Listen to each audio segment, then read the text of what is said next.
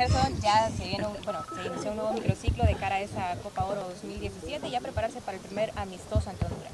Sí, gracias a Dios eh, estamos convocados una vez más y contentos, ¿verdad? Por la convocatoria. Ahora pensar en Honduras, que va a ser un partido eh, para prepararnos de la mejor manera eh, y esperar hacer un buen trabajo para, para estar bien para la Copa de Oro. Y es el premio Mayen a través de o a raíz de ese buen trabajo con su equipo, saliendo campeón, hoy pues aportarlo a la selección.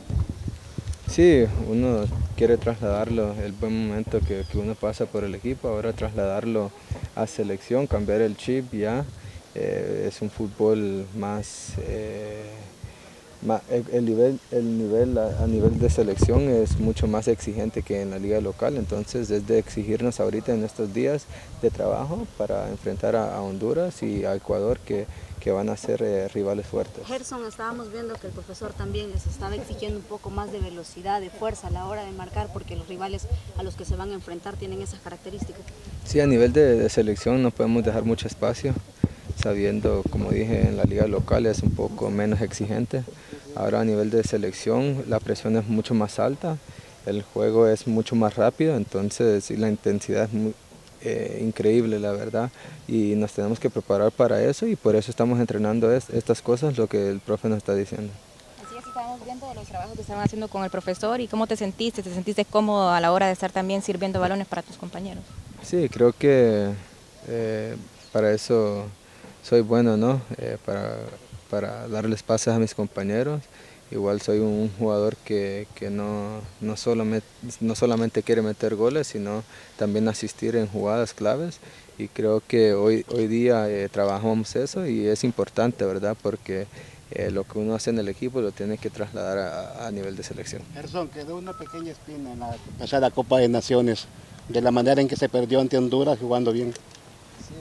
Creo que hicimos una buena Copa UNCAF. Lastimosamente fallamos mucho, eh, pero pasan las cosas y bueno, ahora los tenemos para el día de sábado y esperamos hacerlo de la mejor manera y tratar de ganar el partido, pero si no se puede ganar tampoco hay que perder y también demostrando el fútbol que, tiene El Salvador. Gerson, el, el torneo anterior estuviste a punto de salir también fuera de nuestras fronteras para mostrarte en el fútbol mexicano. Hay que aprovechar la vitrina de la selección para ello. Sí, la verdad uno se tiene que mostrar eh, para salir fuera del país.